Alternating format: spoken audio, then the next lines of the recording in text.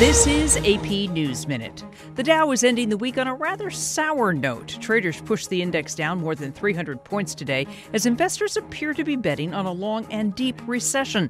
Stocks overseas were also down sharply. Republican vice presidential candidate Sarah Palin is talking about her role in the Troopergate scandal. She's testifying under oath in the investigation examining her firing of Alaska's public safety commissioner. He claims he was let go because he refused to dismiss a state trooper who had divorced Palin's sister.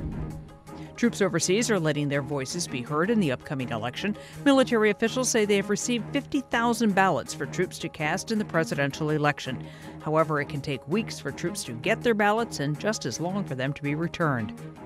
The World Series is heading north. The Phillies and the Rays have the day off today as they travel from Tampa to Philadelphia. The Rays won last night's game to even the best of seven series at a game apiece. Diane Kepley, The Associated Press, with AP News Minute.